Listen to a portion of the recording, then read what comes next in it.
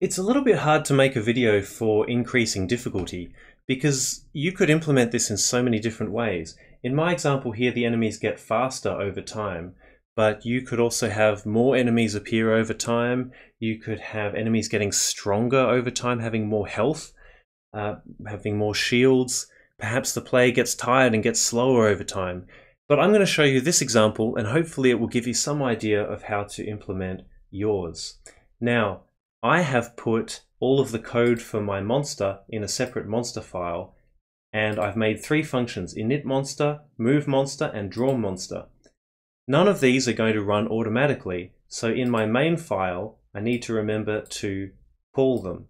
And then when the computer gets to this point, it will simply go to this function and run all the code for me from top to bottom. So let's have a look at how I make this monster go faster over time when it respawns. So mo most of that is in the move monster uh, code along here.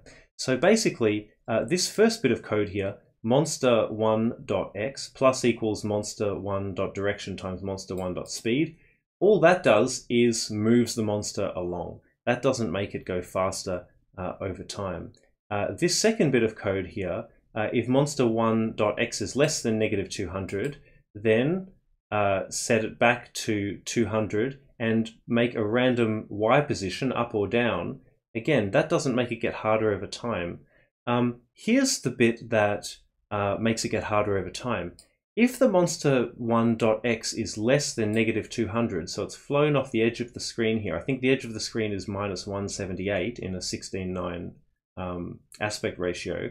If the monster gets off the side of the screen here, then it not only gets reset, but the monster one uh, dot speed, um, sorry, monster one dot speed plus equals 0.5. So we're act actually adding a 0.5 of a pixel per frame um, onto the speed of it.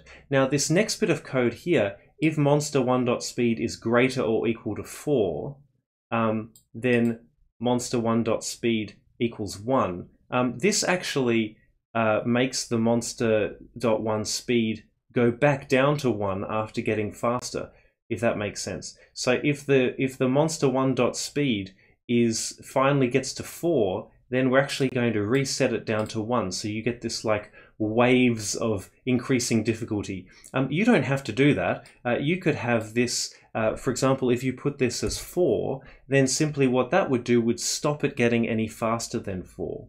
Um, so there are different ways that you can do that. In fact, I might leave it like that. So it gets faster and faster, but then it's limited at four. Um, the, you want to limit it, otherwise at some point it'll fly across the screen so fast that you won't actually even be able to see it, uh, which will be ridiculous.